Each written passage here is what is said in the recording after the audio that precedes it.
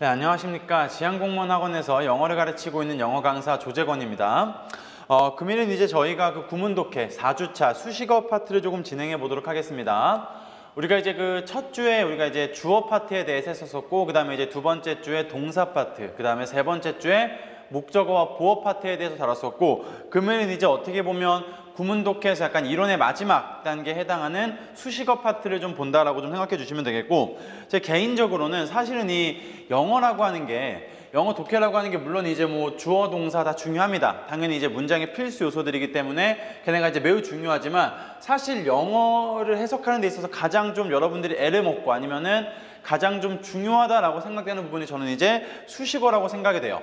이 수식어를 갖다가 얼마나 잘 해석을 하고 얼마나 잘 이렇게 골라내는지 어, 떻게 이제 괄호를 치고 그렇게 표현하는지가 여러분들의 그 해석이 아주 정말 많은 영향을 끼칩니다. 그러니까 우리가 일반적으로 문장 구조 파악을 많이 하다 보면은 주어, 동사, 목적어, 보어 같은 거를 파악하는 건 그렇게 어렵지가 않아요. 조금만 이제 여러분들이 연습을 많이 하다 보면은 익숙해질 수 있단 말이죠. 주어나 동사 어쨌든 하나씩밖에 정해져 있지 않으니까.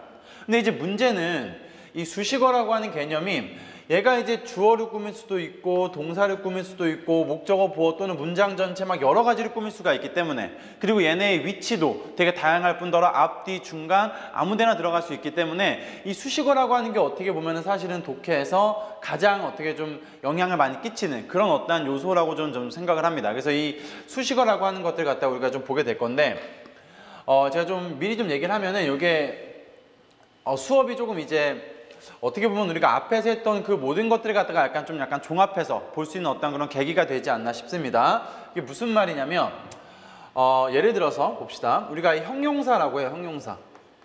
형용사라고 하는 게 우리가 주로 이제 어디에 쓰이냐면은 보어 자리에 주로 많이 쓰입니다. 보어 자리에 많이 쓰이는데 얘가 또 이제 무슨 역할을 할 수가 있냐면 명사 수식의 역할을 할 수가 있다라는 거예요.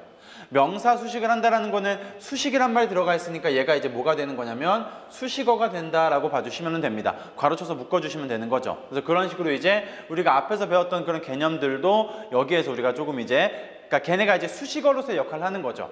앞에서 우리가 어떤 명사절 아이고 명사절이라기보다 우리가 앞에서 어떤 의문사절이라는 걸 봤으면은 이 의문사절이 어떠한 역할을 할 수가 있다? 수식어절로서의 역할도 할 수가 있다는 겁니다. 이것도 이제 우리가 보게 될 거고 이제 그런 식으로 우리가 좀 많이 다양하게 본다는 거 조금 알아주시면 되겠습니다. 어, 좀 제대로 된 어떤 본격적인 좀 수업을 좀 시작하기 전에 제가 여기다가 좀 잠깐 필기하고 이제 설명하고 싶은 게 있는데 어, 우리가 이제 그 수식어를 하기 전에 네.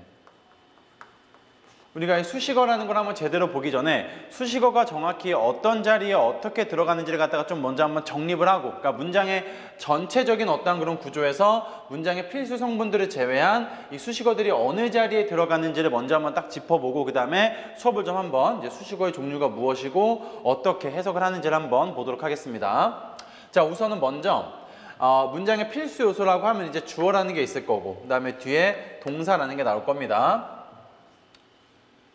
지금 이제 우리가 보는 거는 수식어의 위치를 한번 어, 제대로 한번 파악을 좀 해보자라고 생각해 주시면 될 것 같습니다. 자, 수식어의 위치를 볼 건데 주어라는 게 있고 동사가 있습니다. 그 다음에 이 뒤에 이제 목적어와 보어, 이 선택적으로 들어갈 수가 있겠죠. 목적어와 보어, 선택적으로 들어갈 수가 있는데 우리가 이제 이 중간중간에 수식어라는 것들이 들어갈 수가 있다라고 좀 생각을 해주시면 되는데 이 수식어의 종류가 굉장히 많습니다. 여기도 지금 보시면은 제가 책에만 지금 가져온 수식에 대한 어떠한 그런 종류들이 뭐 후치 수식, 투부정사, 분사, 뭐 분사 표현들 뭐 이런 거 되게 많거든요. 부사절 막 이런 것들이 있는데 어 지금 그런 것들이 어떻게 여기에 좀 들어가는지 자리를 한번 조금 정립을 해보면은 일단은 여러분들 봅시다. 이 주어라고 하는 거는 이 주어 자리에 쓰이는 거는 정해져 있죠. 어떤 거? 명사를 씁니다. 주어 자리에. 주어 자리에 명사를 쓰기 때문에 기본적으로 이 앞에다가 무엇을 쓸 수가 있어요? 형용사 같은 것들을 사용해서 형용사 같은 것들을 앞에 있는 주어를 꾸밀 수가 있습니다. 이렇게 주어를 꾸밀 수가 있겠고 그러한 형용사를 또 뭐가 꾸며줄 수가 있냐면 부사라고 하는 것들이 또 꾸며줄 수가 있어요. 이런 식으로. 음. 물론 이제 이 부사의 개수는 하나, 두 개, 여러 가지가 들어갈 수가 있습니다. 그리고 형용사라고 하는 것도 주어를 꾸밀 때 두 개, 세 개 이렇게 여러 가지가 들어갈 수가 있습니다. 뭐 그런 것도 참고해 주시고 그 다음에 이제 이 주어 뒤에서 어, 주어 뒤에서 우리가 이제 우리가 이제 여기 첫 번째 여기서 우리가 후치 수식이라고 하는 건데 주어 뒤에서 되게 다양한 요소들이 앞에 있는 주어를 또 꾸밀 수가 있습니다. 이 부분은 우리가 어디서 했냐면은 첫 주에 주어 파트에서 했었어요. 첫 주에 주어 파트를 할 때 있어서 주어 다음에 나오는 그 동사 여기 앞에서 이제 문장을 끊어서 해석을 하잖아요. 그때 여기 있는 것 갖다 우리가 전부 다 이제 주어 부로 파악을 하는데 거기 주어 뒤에서 꾸미는 여러 가지 요소들 얘네들도 우리가 이제 후치 수식의 어떤 그런 개념으로 봐서 앞에 있는 주어를 꾸미는 수식어로 우리가 처리를 했었었죠. 대표적으로 몇 가지만 한번 적어 보면은 뭐 전치사 플러스 명사 이런 것들. 이 뒤에서 주어라는 명사를 꾸밀 수도 있겠고 그 다음에 투부정사가 앞에 있는 명사 주어를 갖다 꾸밀 수도 있겠고 그 다음에 뭐 ing라던가 이런 것들 전부 다 앞에 있는 주어를 꾸밀 수가 있겠습니다. 그 다음에 우리가 좀 절이라는 개념으로 들어가 보게 되면 관계사절, 뭐 that 주어 동사라던가 그렇죠? that 주어 동사 아니면 그냥 that이 생략된 주어 동사. 이런 것들도 전부 다 앞에 있는 주어를 갖다가 꾸며줄 수가 있다. 이렇게 좀 생각해 주시면 되겠고 이런 게 이제 우리가 그 1주차에 주어 파트에서 봤던 아마 그 후치 수식에 해당이 될 겁니다. 근데 어쨌든 얘네가 수식어라는 어떤 그런 범주에 들어가기 때문에 제가 여기다가도 또 가지고 왔다라는 거 참고해 주시면 될 것 같고. 근데 어쨌든 얘네가 이제 후치 수식으로 앞에 있는 주어라는 명사를 꾸미잖아요? 자 그런데 봅시다 얘네가 어쨌든 앞에 있는 명사를 꾸밀 수가 있기 때문에 목적어나 보어 자리 어쨌든 목적어나 보어 자리에도 명사가 들어가는 거는 변함이 없으니까 명사가 들어갈 수 있기 때문에 이 후치 수식에 해당하는 요소들이 정확히 어떻게 목적어나 보어 뒤에서 앞에 있는 얘네들이 갖다가 꾸며줄 수도 있죠. 음. 당연히 이런 후치 수식은 어쨌든 수식어니까 어떻게 두 개, 세 개 마음대로 이제 뭐 글을 쓰는 사람에 어, 따라서 되게 뭐 여러 가지 집어 넣어 가지고 앞에 있는 명사를 갖다가 꾸며줄 수가 있겠습니다. 이런 어떤 후치 수식의 개념들이 있겠고 그 다음에 여기 여기 좀 위치를 좀 바꿔보면 음, 여기 이렇게 동사가 있으면은 이 동사를 또 따로 꾸며줄 수 있는 것도 있죠. 동사를 수식해주는 무엇이 부사가 여기에 또 들어갈 수가 있어요. 부사가 앞에서 동사를 꾸며줄 수도 있고 부사가 뒤에서 앞에 있는 동사를 꾸며줄 수도 있겠습니다. 이런 식으로. 그러니까 예를 들어서 뭐 이런 거 있잖아요.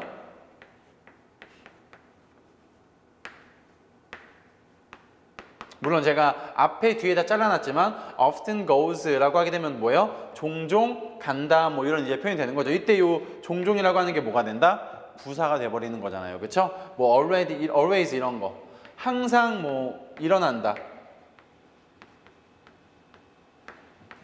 항상 일어난다라고 할 때 always라고 하는 것도 어쨌든 부사에 해당하는 거니까 앞에서 동사를 꾸며주고 있는 거고. 그래서 이런 식으로 어쨌든 부사가 동사를 꾸며줄 수가 있다라고 좀 생각을 해주시면 되겠고. 그 다음에 여기 있는 이 목적어와 보어 이것도 좀 위치를 바꿔볼까요? 조금만.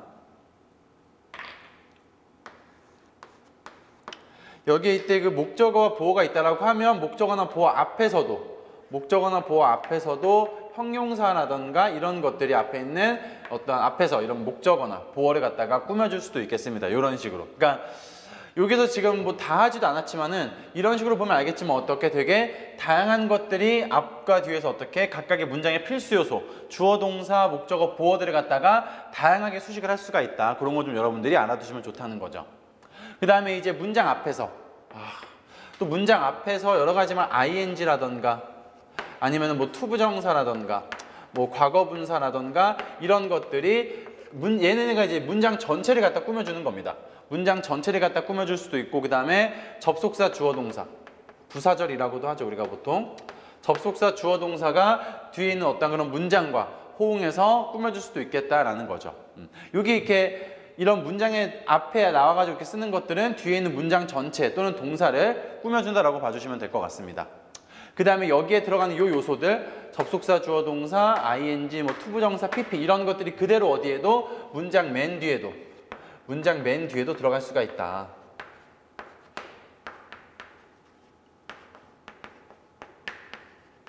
들어가서 얘네들이 앞에 있는 문장 전체를 갖다가 꾸며줄 수도 있다. 이렇게 좀 봐주시면 될 것 같습니다. 이런 식으로. 그래서 여기에 들어가는 얘네들 얘네들을 갖다가 우리가 전부 다 뭐라고 하는 거냐면 수식어라고 하고요. 음, 이런 것들을 갖다가 우리가 이제 이번 시간에 파악을 좀 할 거란 얘기죠. 그래서 이 수식어가 어떻게 되게 좀 저는 이제 나름 개인적으로는 주어부터 우리가 이제 지금 4주차까지 했을 때 가장 중요한 파트가 여기라고 이제 생각이 되는데 왜 그러냐면 수식어를 우리가 빨리 골라내는 연습 이거를 갖다 이렇게 빨리빨리 가로쳐서 좀 골라내는 연습을 잘해야지만이 문장의 필수 요소들이 보이고 해석하는 데 큰 도움이 된다는 거죠, 이게.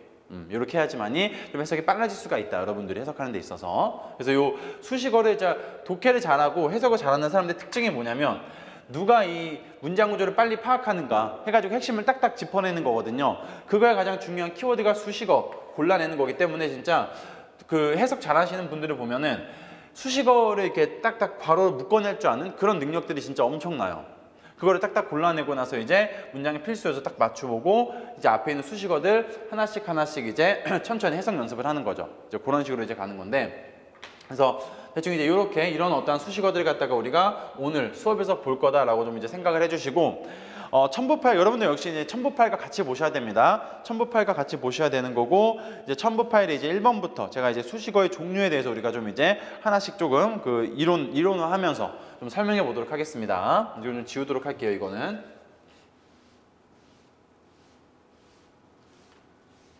이 수식어 위치는 뭐 이게 크게 엄청 중요한 건 아니라서 진짜 중요한 건좀 수식어들이겠죠. 수식어에 일단 그런 것들을 파악하는 거니까 어, 자 봅시다. 자 그리고 이제 우리가 음, 수업을 하기 전에 한 가지 여러분들과 저와의 좀 어떤 약속을 좀 맞춘다라고 하면 자 수식어는 제가 이제 앞에서 뭐로 표현을 했냐면은 그러니까 첫 주나 두 번째 주에선 세 번째 주까지 저희가 수식어를 보통 M이라고 많이 적었는데 제가 뭐 수식어를 갖다가 따로 그러니까 동사는 V 체크, 주어는 주어 체크 이렇게 하지만 수식어는 제가 따로 M이라고 하지 않고 어떻게 표시를 하냐면 괄호로 이렇게 표시를 합니다. 생략이 돼도 되는 부분, 없어도 되는 부분이기 때문에 그렇게 이제 괄호로 표시 표현을 하게 될 거니까 그거 좀 그러니까 제가 괄호 치는 것들은 전부 다 뭐다 수식어다라고 봐주시면 되겠습니다. 음, 그렇게 봐주시면 되겠고 자 이제 우리가 1번에 후치 수식과 투부정사 용법부터 이렇게 좀 들어갈 건데 자, 이걸 잠깐 우리가 한번 봐봅시다 우리가 이 수식어라고 하는 거 어, 수식어라고 하는 게 어쨌든 수식해주는 역할을 한다는 거고 영어에서의 수식어는 크게 두 가지로 나눌 수가 있습니다. 첫 번째가 형용사 그 다음에 두 번째가 부사죠. 음. 형용사나 부사 어쨌든 뭐 수식어 역할을 합니다. 두개 다. 자 그런데 형용사면 우리가 이제 어, 머릿속에 많이 떠오르는 게 뭐가 있냐면은 명사 수식과 보어 역할이죠.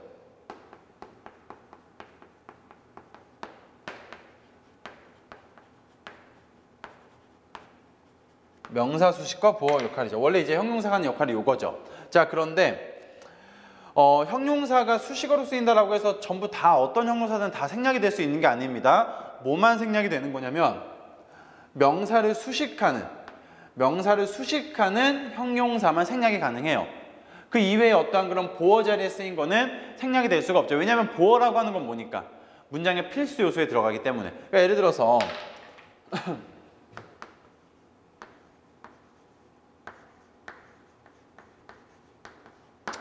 나는 행복하다라는 문장을 썼을 때 I가 주어고 M이 동사, 동사입니다. 여기에는 이 happy가 보어이자 형용사 행복한이라는 단어를 쓴 건데 얘를 생략할 수가 있다 없다? 얘를 생략할 수가 없다라는 거죠. 얘를 빼면 문장이 아예 말이 안 되는 그런 문장이 돼버리니까. 자 반대로 근데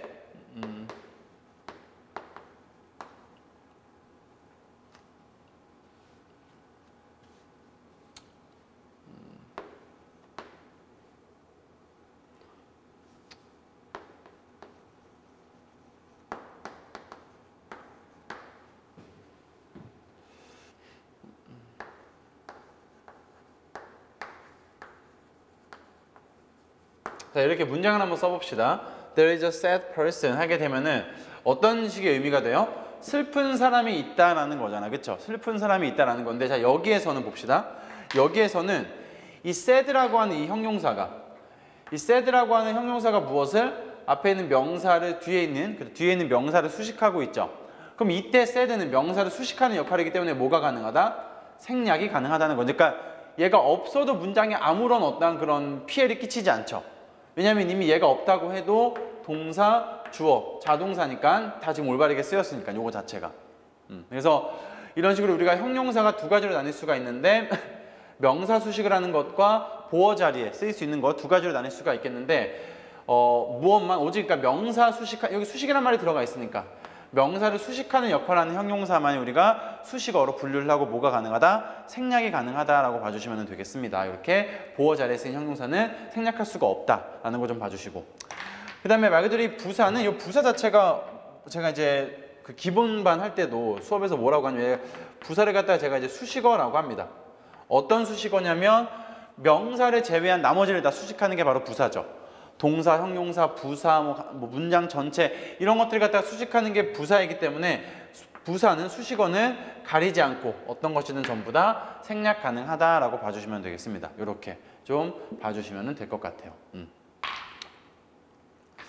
아 물론 이제 뭐 요거는 뭐 좀 이렇게 중요한 건 아니지만 그 수거 그러니까 동사 부사가 들어가서 동사랑 부사랑 하나가 이제 붙어가지고 어떤 하나의 의미를 가지는 그런 것들은 당연히 수거 표현이기 때문에 생략할 수가 없겠습니다. 이때 부사는 예를 들어서 give up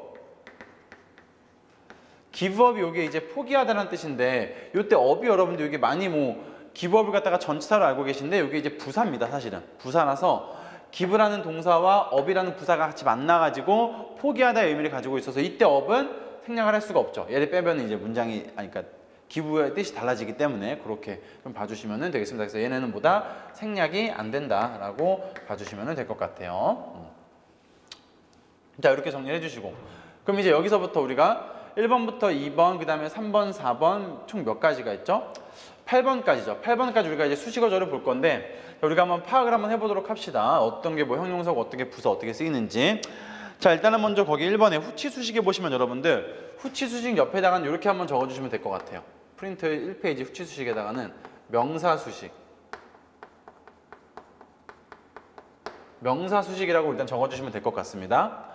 자, 이 명사 수식이라는 게 무슨 말이에요? 앞에 있는 어떤 그 그러니까 명사가 있으면 그러니까 이 명사가 이제 주어가 될 수도 있고 목적어가 될 수도 있고 모든 뭔가가 될 수가 있겠습니다. 이런 어떠한 그런 명사를 갖다가 뒤에서 뒤에서 수식해주는 역할을 하는 걸 갖다 우리가 후치 수식이라고 하죠. 대표적인 종류로는 뭐가 있냐면 이제 우리가 아까 조금 전에 썼었긴 했는데 전치사 플러스 명사, 뭐 투부정사, 그다음에 일반 형용사구, 그렇죠? 형용사구, 그다음에 뭐 ing, pp, 그다음에 뭐 접속사, 주어동사, 뭐 이런 것들, 그냥 주어동사 이런 것들, 이런 것들이 전부 다 뭐다 앞에 있는 명사를 꾸며줄 수 있는 후치 수식이다라고 봐주시면 되겠죠. 그래서 이제 우리가 주어부 할 때는 여기를 전부 다 묶어가지고 이제 주어부로 딱 이렇게 취급을 했었던 이제 그런 음, 수업이 있었습니다. 그 다음에 이제 이번에 투부정사의 부사적 용법이다라는 건 뭐냐면 우리가 이제 앞에다가 주어 동사를 썼는데 주어 동사를 썼는데 목적어까지 해서 문장이 완전한 문장입니다. 완전한 문장을 썼는데 이 문장의 앞에다가 문장의 앞에 또는 문장의 맨 뒤에 문장의 맨 뒤에 to 동사 해가지고 앞에 있는 이 동사나 앞에 있는 이 문장 전체를 갖다가 다 꾸밀 수가 있습니다. 얘네가 여기 앞에다가도 to 부정사를 써서 여기 뒤에 있는 동사나 뒤에 있는 문장 전체를 갖다가 꾸며줄 수도 있어요. 뭐 대표적인 어떤 그런 그 표현이 뭐가 있냐면 뭐 이런 거죠. To make matters worse.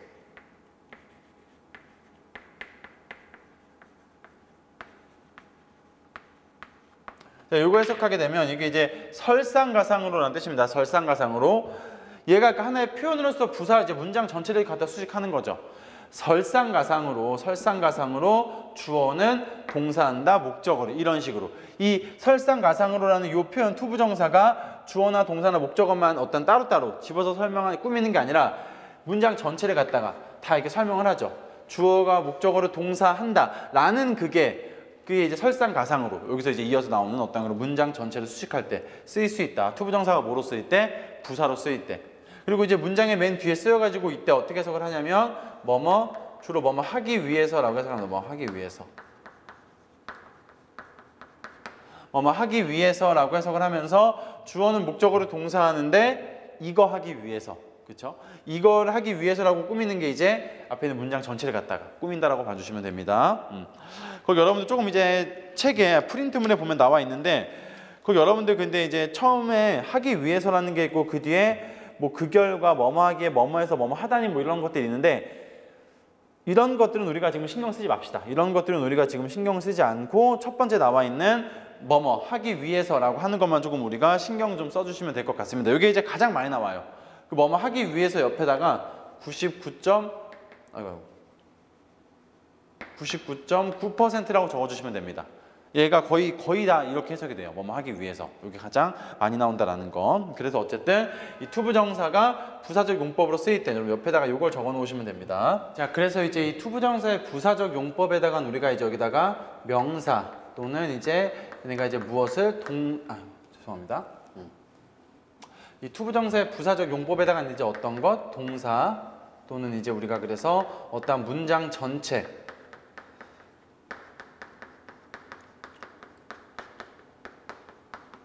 문장 전체를 수식할 수가 있다라고 조금 봐주시면 되겠고 이제 어떻게 쓰이냐라고 한번 봐보니까 이제 쭉 우리가 조금 전에 봤던 예문처럼 투부정사가 문장의 맨 앞에서 앞에 있는 주어 동사 뒤에 나오는 주어 동사를 꾸밀 수도 있고 그 다음에 문장의 맨 뒤에서 문장의 맨 뒤에서 필수 요소가 끝나고 뒤에서 앞에 있는 주어 동사를 갖다 이렇게 꾸밀 수도 있다라는 거 이런 식으로 이제 쓸 수가 있다라는 거고요. 거의 대부분은 어떻게 해석이 된다? 뭐뭐하기 위해서라고 해석이 된다라고 봐주시면 되겠습니다. 음.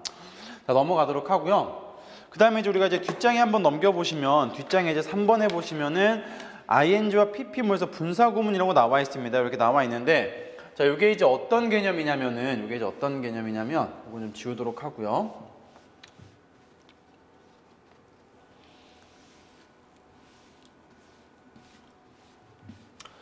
어, 이 분사 구문이라고 하는 게 어떤 개념이냐면 뭐까 이 분사가 들어가 있는 말 그대로 구문을 의미한다 뭐 이렇게 봐주시면 되는데 이렇게 ing나 pp가 그러니까 현재 분사 또는 우리가 이제 과거 분사라고 하는 아이들이죠.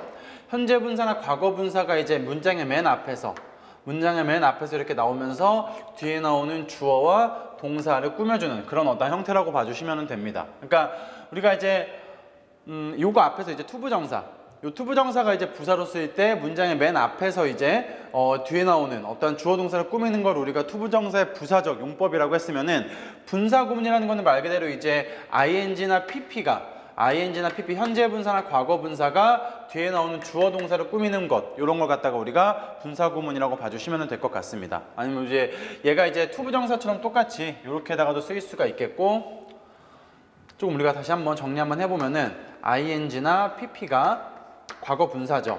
과거 분사가 뒤에 나오는 주어 동사를 꾸미거나 아니면 이제 얘네가 똑같이 어디에도 들어갈 수가 있냐면 문장의 맨 뒤에도 들어갈 수가 있습니다. 그래서 문장의 맨 뒤에 들어가서 여기서 ing나 pp가 앞에 나오는 주어와 동사를 갖다가 꾸미는 거 얘를 갖다가 우리가 분사구문이다라고 봐주시면 됩니다.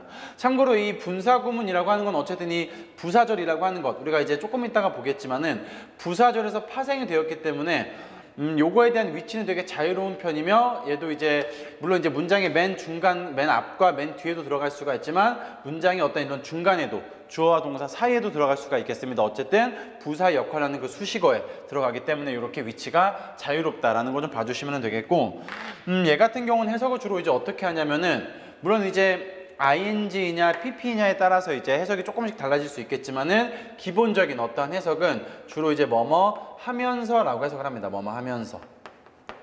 pp는 이제 우리가 과거 분사라고 하는 건 우리가 보통 이제 수동의 느낌이 많이 강하기 때문에 얘는 보통 되어지면서 이렇게 많이 해석을 하죠.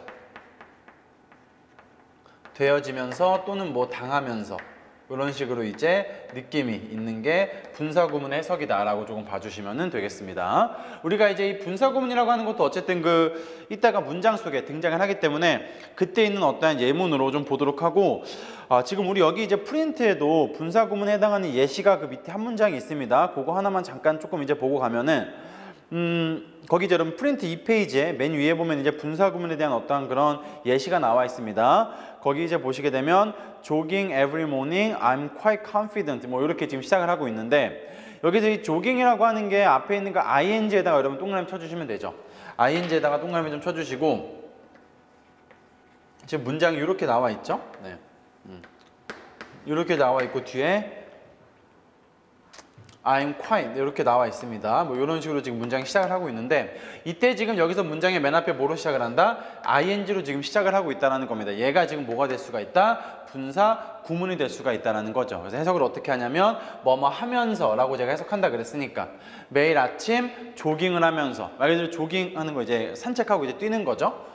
어, 매일 아침 조깅을 하면서 나는 꽤나 어떻게 된다? 자신, 어, confident of my health. 그러니까 내 건강에 대한 확신을 가진다. 내 건강을 되게 잘 챙기고 있다. 이런 식의 어떤 문맥으로 보는 건데 어쨌든 중요한 거는 거기 뭐다 있는 조깅이라고 하는 거이고 앞에 ing로 시작을 하면서 뒤에 나오는 주어 동사를 꾸밀 때 뭐뭐 하면서 라고 해석이 된다라는 거. 근데 어쨌든 얘도 뭐다? 수식어의 한 종류다라고 조금 봐주시면 되겠습니다. 즉, 얘 그러니까 수식어라는 건 제가 다시 한번 말하지만 어떤 요소를 말하는 거예요?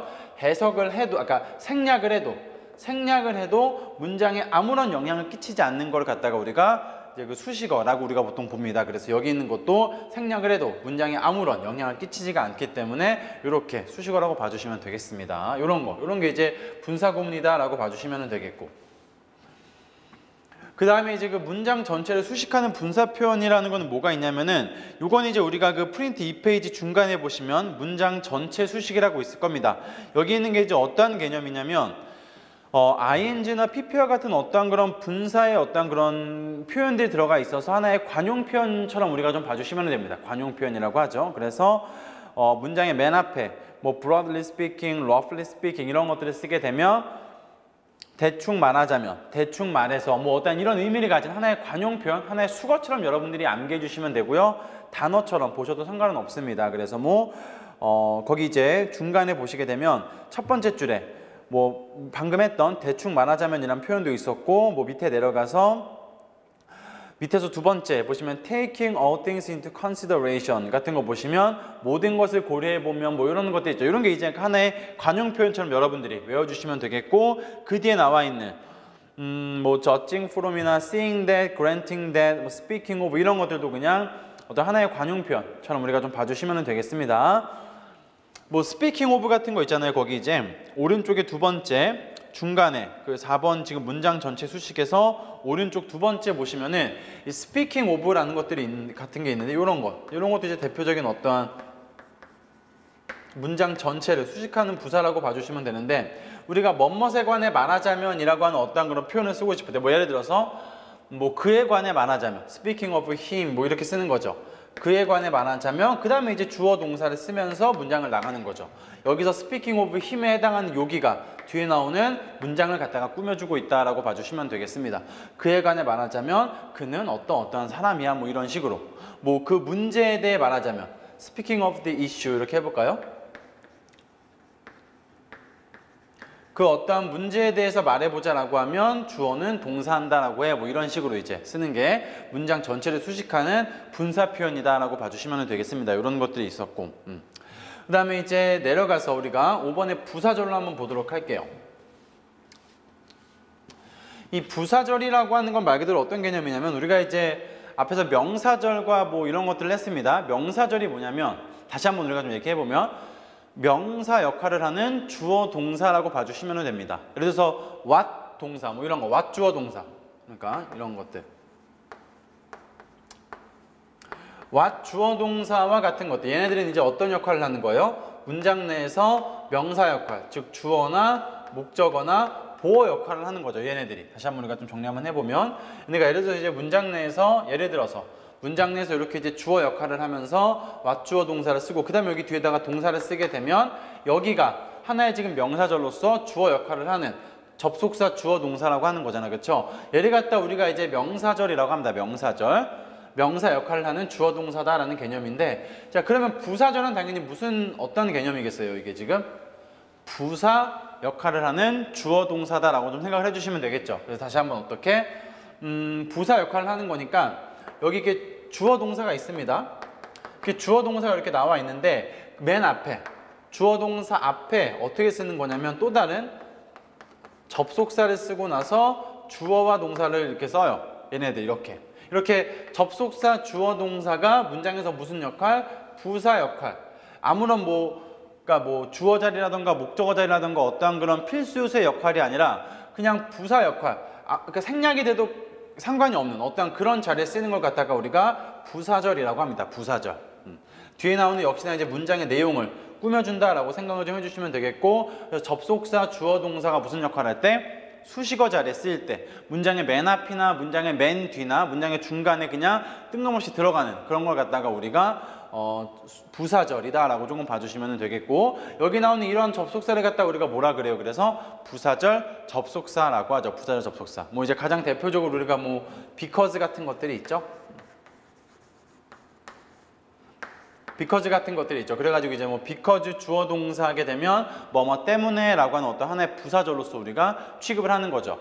뭐 because 주어 동사 이렇게 쓰게 되면 이 주어가 동사 하는 것 때문에 뒤에 나오는 주어가 동사한다. 얘를 갖다 우리가 부사절이라고 취급을 하고 여기를 주절, 중요한 절이다라고 우리가 보는 거죠. 그래서 여기는 얘네는 뭐가 가능하다? 생략이 가능하다라고 조금 봐주시면 되겠습니다. 이렇게 봐주시면 되겠고. 그래서 거기 이제 프린트에 보시면 여러분들 그 이제 뭐 부사절에 해당하는 종류가 여러 가지를 제가 적어놨습니다. 뭐 when, in that, 뭐 after, though, although, until. 그러니까 사실 여기 있는 것 말고도 더 있지만 그냥 대표적으로 자주 쓰이는 것들만 좀 적어놨으니까 한 번쯤 우리가 좀 이제 봐주시면 되겠고 이런 것들이 이제 부사절 접속사라는 것들이고요. 얘네들 뒤에 이제 주어 동사가 나와서 하나의 부사절을 형성한다라고 봐주시면 되겠습니다. 음, 거기 밑에 여러분들 예문해 보시면 이제 if로 시작하는 예문이 있을 겁니다. If it rains tomorrow 이런 거 이제 보시게 되면 그러니까 if부터 tomorrow까지가 이제 부사절이 되는 거죠. If가 부사절 접속사이기 때문에 그래서 if부터 tomorrow까지가 이제 부사절이 되겠고 we가 주어, will not go가 동사라고 봐주시면 되겠습니다. we가 이제 주절의 주어고 will not go가 이제 주절의 동사로 봐주시면 되겠죠. 그래서 만약 내일 비가 온다면 이렇게 쓰는 거죠. 앞에 부사절은 만약 내일 비가 온다면 우리는 여행을 가지 않을 것이다 라고 하는 문장인데 그러니까 이게 만약 내가 비가 온다면이라고 하는 부분은 없어도 된다고요. 이게 생략을 해도 상관이 없다는 거죠. 중요한 거는 뭐다? 우리는 죄송합니다. 우리는 여행을 가지 않을 것이다 라고 하는 거 여기가 중요한 거죠. 그래서 앞에 있는 이런 부사절은 생략이 가능하고 이게 뒤에 주절이 나오는 거. 그래서 이런 걸 갖다 우리가 부사절로 봐주시면 되겠고. 자, 밑에 있는 어떠한 그 예문도 보시면은 once로 시작하는 그런 예문이 있죠. 어, once부터 old까지가 부사절이라고 봐주시면 됩니다. once가 부사절 접속사로 쓰이거든요. 그래서 he가 주어, will live가 동사, his family가 목적어인 거잖아. 여기가 이제 주절이 되는 거고 생략할 수 없는 중요한 절. once부터 old까지는 부사절이 돼서 원스가 부사절일 때 일단 뭐뭐 하면의 뜻이니까 접속사일 때 부사절 접속사로서 일단 뭐뭐 하면의 뜻이니까 마크가 18살이 되면 뭐 이런 의미겠죠. 마크가 일단 18살이 되면 그는 그의 가족을 떠날 것이다. 뭐 이렇게 봐주시면 되겠습니다. 음. 그 다음에 이제 어, 밑에 것도 예문에 보시게 되면 I'll do the dishes tonight 이렇게 되어 있죠. 여기서는 이제 I가 주어고 will do가 동사입니다. 여기가 이제 주절이죠. I가 주어, will do가 동사에서 여기가 주절이 되겠고 부사절은 어디에 있다? since you cooked라고 하는 거 보이시죠? 여기가 지금 부사절이 되겠죠. since가 부사절 접속사이기 때문에 since you cooked, 그러니까 당신이 뭐 했기 때문에 cooked, 요리했기 때문에 since가 여러분들 부사절 접속사로서 뭐뭐 때문에 뜻을 가지고 있습니다. 그래서 당신이 요리했기 때문에 내가 뭐 하겠다 오늘 밤 설거지를 할게 이렇게 이제 보는 거죠. 이런 식으로 이제 문장을 써줄 수가 있겠고 근데 어쨌든 뭐 if로 시작하는 거 뭐 원수로 시작하는 여기는 전부 다 뭐가 가능하다 괄호치고 생략이 가능하다라고 조금 봐주시면 되겠습니다. 이렇게 여기가 부사절이다라는 거 봐주실 수 있겠고 음 그 다음에 이제 넘기셔서 마지막이네요. 뭐 관계사절 그 다음에 이렇게 남아 있는 사람 봅시다 여기도 이 관계사절이 우리가 또 조금 있다가 이제 해석을 좀 많이 해보겠지만 사실 이제 가장 좀 뭐라고 해야 될까요? 좀 어려운 부분이 어렵다라기보다는 가장 좀 우리가 많이 볼 수 있는 어떤 그런 수식어의 형태가 될 수가 있는데 어, 이게 어떤 개념이냐면 얘는 일단은 옆에다가 좀 적어 놓으셔야 됩니다. 얘는 뭐라고 적어 놓으냐면은 명사 수식이라고 적어 주시고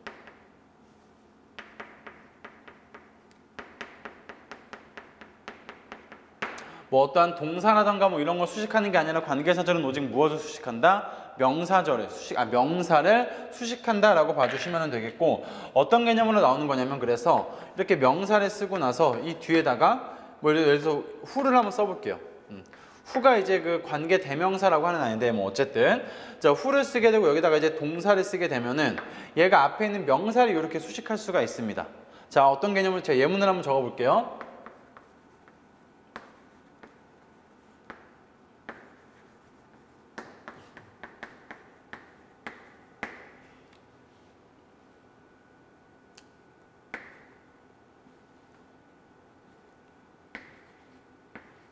자, 이렇게 적어보게 되면 소년이라고 하는 명사를 적었습니다. 소년인데 어떤 소년이냐라고 보면은 나를 좋아하는 소년 이렇게 되는 거죠. 자, 다시 한번. 여기가 소년이라고 하는 명사가 있겠고 likes라는 동사가 있습니다. 미는 목적어겠고 이때 후가 우리가 관계대명사라 관계사라고 하는 아인데 앞에 있는 명사를 꾸며주는 역할을 합니다. 그래서 소년인데 그 소년이 어떤 소년인데 이제 보충 설명을 해주는 거죠. 소년인데 어떤 소년, 나를 좋아하는 소년 이렇게 간다라는 겁니다. 이런 식으로. 또 이제 어떠한 형태도 있냐면 이런 것도 가능합니다. 뭐 명사를 쓴 다음에 이렇게 뒤에 주어 동사를 갖다가 쓸 수도 있겠는데 자, 제 예문을 한번 적어 볼게요. 또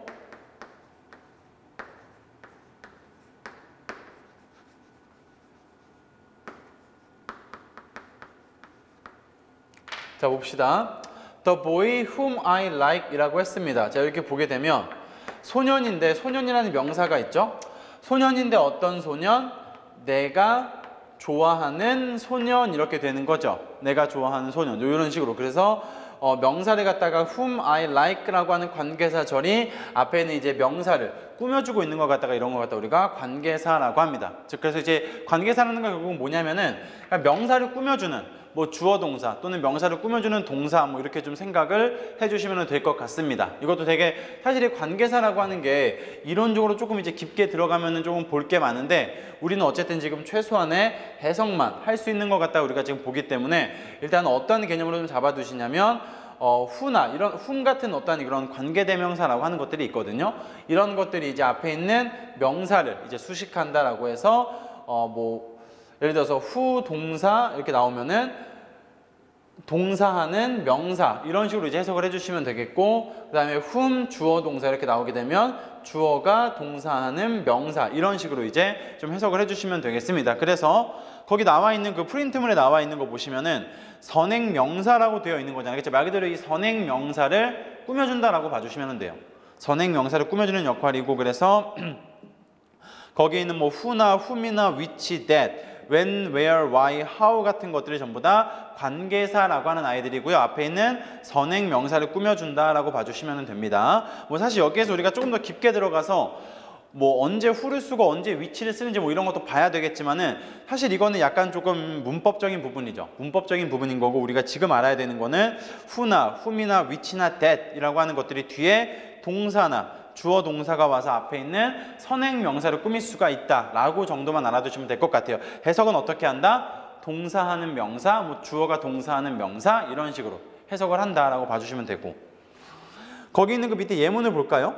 예문을 보시게 되면 어, I like the book which was written이라고 적혀 있을 겁니다. 그렇죠? 그러니까 나는 책을 좋아하는데 I like the book이죠. 어떤 그 책이라는 게 이제 명사가 되겠죠. 명사인 거고 위치부터 워버까지가 여기 이제 어, 버나드 워버인가요? 여기까지가 이제 관계사 절이 되죠. 앞에 있는 북을 꾸며주고 있는 겁니다.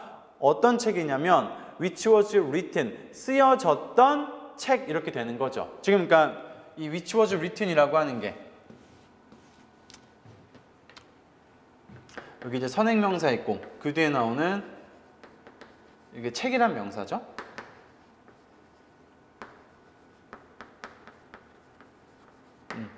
요 지금 위치 was written이 동사입니다. 그렇죠? 위치라는 관계사가 있고 얘가 앞에 있는 명사를 이렇게 꾸며주고 있는 거죠.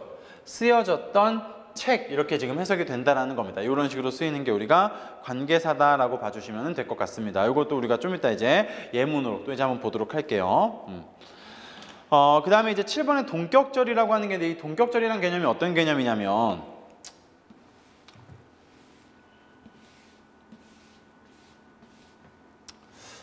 칠판을 조금 지우고 시작을 합시다 우리가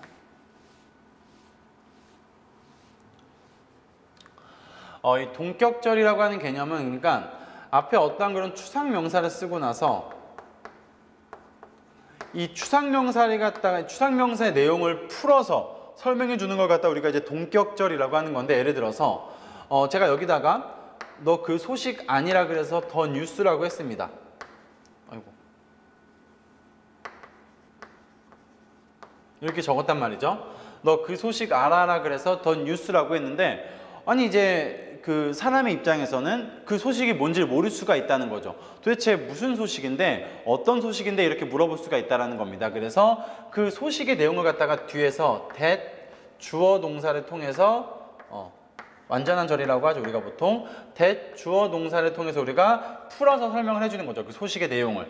그래서 이 내용과 이 내용을 하나로 압축한 게 소식이기 때문에 얘를 갖다 우리가 뭐라고 한다? 동격이라고 우리가 표현을 하죠. 얘랑 얘랑 같다라는 겁니다, 결국. 그래서 이걸 갖다 우리가 동격절이라고 하고 라는 건데 뭐 예를 들어서 그 소식이야. 근데 무슨 소식이냐면 어 뭐 그녀가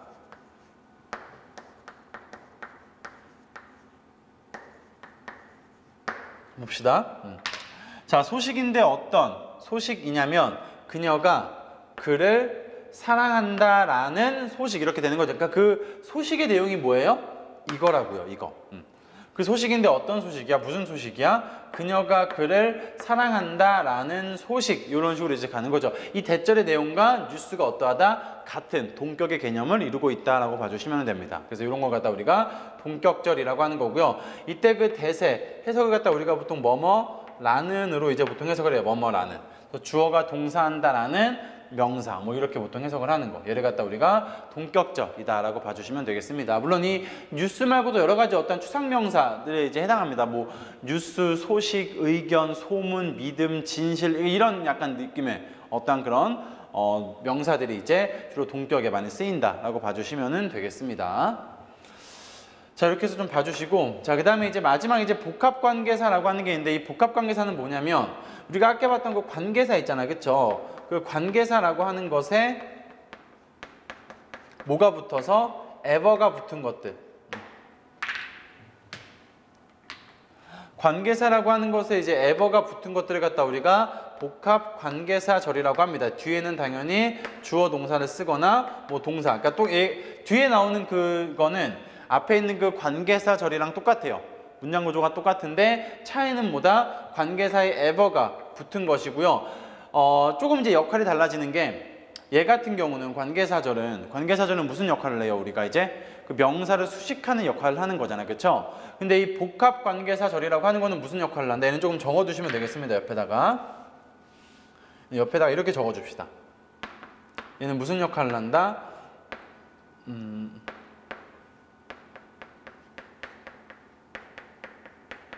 문장 수식 그리고 부사절이라고 적어주시면 될 것 같아요. 즉 무슨 말이냐면 어, 아까 있는 여기 후, 후 같은 거는 후라고 하는 거는 앞에 있는 명사를 꾸미는 명사를 꾸미는 명사 수식의 역할을 했었잖아요. 명사 수식의 역할을 했었는데 이 whoever라고 하는 거는 후에 ever가 붙은 얘는 무슨 역할을 한다? 명사 수식의 역할을 하는 게 아니라 무슨 역할을 해요? 얘가 부사절의 역할을 한다고요. 부사절. 부사절의 역할을 한다는 게 차이가 있는 거죠. 해석은 어떻게 하냐면 뭐뭐든지 뭐뭐라도라고 이제 해석을 합니다. 여기 이제 지금 여러분들 거기 보시면은 이제 whatever, whichever, whoever, whomever 뭐 이렇게 해서 뭐뭐든지 간에 이렇게 보통 해석이 되어 있잖아요. 그렇죠? 이제 얘네가 그 전부 다 뭐 which나 who나 whom이나 where 얘네들이 전부 다 이제 관계사한 종류인데 거기에 이제 ever가 붙어가지고 무슨 역할? 부사절의 역할을 하는 걸 갖다 우리가 복합 관계사절이라고 합니다. 해석은 뭐뭐 든지 간에라고 우리가 이제 보통 해석을 해요. 그래가지고 이제 그 예문에 잠깐 보시면은 예문에 잠깐 보시면 whichever they choose 그러니까 whichever가 어떤 것 어느 것이라는 의미가 있으니까 그들이 선택하는 건 어떤 것이든지 간에 이렇게 되는 거죠. 어떤 것이든지 간에 우리는 그들의 제안을 받아들일 것이다 이렇게 되는 거겠고 거기는 whichever부터 choose까지가 뭐가 된다? 부사절이 된다라고 봐주시면 됩니다.